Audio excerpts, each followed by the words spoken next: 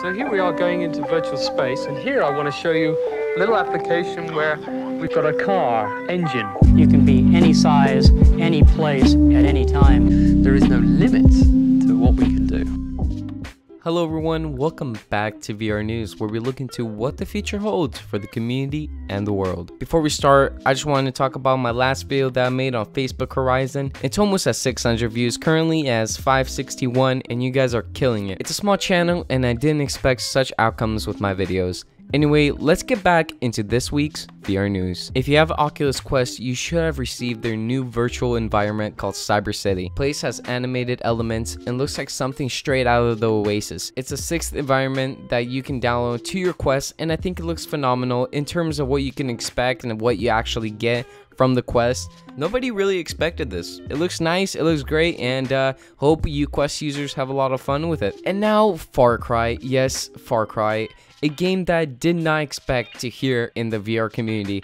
Just like the new Hitman, Far Cry will be joining the race with VR support for next year at apparently VR arcades. Although I won't be able to download it, I still think it's nice that companies are starting to realize that VR isn't going anywhere. And these VR headsets that we use right now will be something that will be in our daily lives that we use. Ubisoft is also rumored to come out with VR support for Assassin's Creed, Escape Rooms, and even Prince of Persia VR. So this is great to hear that companies are putting their money towards the VR uh, development and games like this will be great. Games like Far Cry that has had this long franchise of all these different games that they've made, the first, the second, the third, and they just keep on coming and VR support is going to be great for this game. I can't wait for Hitman, of course, because Hitman will also be an amazing VR game that you can actually download and buy, and I think more companies are actually starting to realize how big this is. On the side of VR arcades, I haven't really went to a VR arcade yet. I hope I will someday, somewhere soon. I don't know how will really work, nor have I even tried a VR headset in an arcade. I don't know how they would work with Far Cry and whatnot. I don't know what systems they will use for arcades. With all this COVID stuff that's happening, better clean it really nice or they will be in trouble. Alright, and now some news regarding Oculus and Facebook logins. If you have Oculus and have made an account, you probably received an email.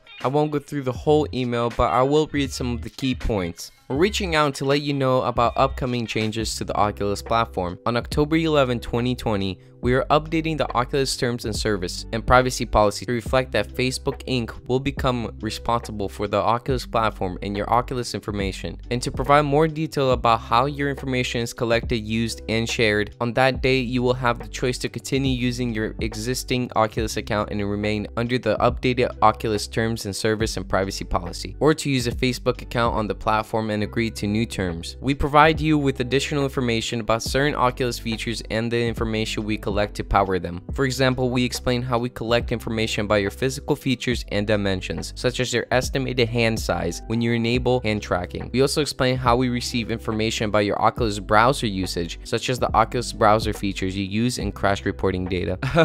so what they're saying is, people will write on the internet, people will write that they're going to be looking at everything about you. Once eye tracking comes along to Oculus, they will look at everything. They will look at how to promote things and ads and such like that. Facebook is on the horizon, pun intended, and they will be tracking everything you do. Physical features and dimensions and hand size, like I think that's crazy. They make it seem like it's a normal thing that they will be tracking all that stuff, but I would probably switch it to a new headset because that doesn't seem really cool to me. HP Reverb is coming out soon, so looking forward to that instead of this. All right, now for some good news. If you own a PSVR, you should probably check out the PlayStation Store. There's currently a big sale going on and I think you can cop some nice games. These discounts aren't there for long. They expired this month on the 24th of September. These are some games that I think is worth looking at right now. Arizona Sunshine now costs $10 from 40. Creed Rise for Glory 749 from 30. Raiden now costs 10 USD from 40. Sprint Vector 749 from 30, which I play a lot. The Mage's Tale 989 from 30. Gorn 15 from 20. Pixel Ripped 1995 now costs $15 from 20. Marvel's Iron Man VR now costs 30 from 40. The Walking Dead Saints and Sinners now costs 30 from 40. Tilt Brush 15 from 20. And there's a lot, a lot more like Moss $15 from 30. We don't even get these type of discounts on PC PC. So you guys should check it out if you have PSVR.